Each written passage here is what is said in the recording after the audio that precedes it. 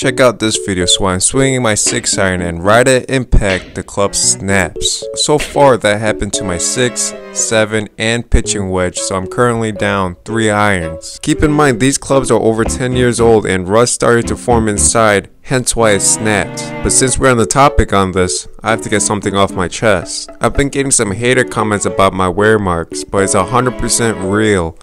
6 iron, real. 8 iron, real. 4 iron, real. It's not no tiger wear mark, but still. Anyways, getting to the main point. So if you're thinking what I'm thinking, it's time to drain my bank account. Oops, wrong button. It's time to buy new clubs.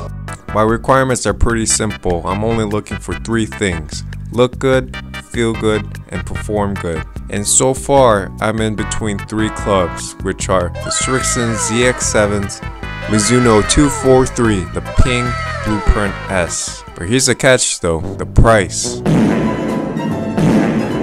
Bruh. Since when did golf irons cost more than rent? I knew inflation was bad, but I didn't know it was this bad. Hello, America. Actually, let's look that up. So my current irons released in 09, nearly 15 years ago. It's the Titleist AP2 710 and the retail price was $9.99. Fast forward to now, 2024, the new Titleist T100s cost $13.99. Bruh. $400 difference. I don't know about you, but to me, $9.99 seems a lot more attractive than $13.99. Thing is, I'm not really loyal to any brand. I'll play whatever that look good and feel good. So before I pull the trigger, drain my bank account, pull out 15 Benjamin, and possibly not paying for rent, I did a little bit more research. And what I found was direct to consumer clubs.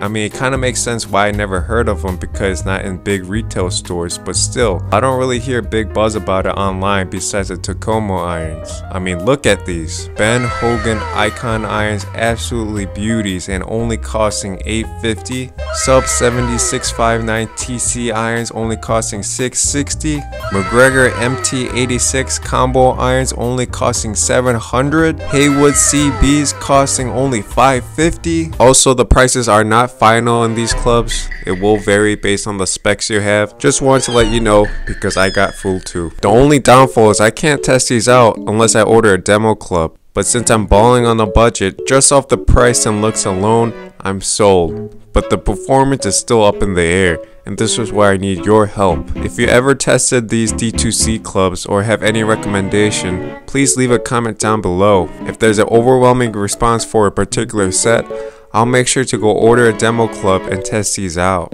I'm curious to hear your thoughts about these 2C clubs and if they're worth it or not, or should I just stick to big brand clubs? So please leave a comment down below. I'm very curious to hear your thoughts. Stay tuned for the irons I'll put in the bag this year. That's all I have for you today. It's your boy. I'm Choi Boy. Peace.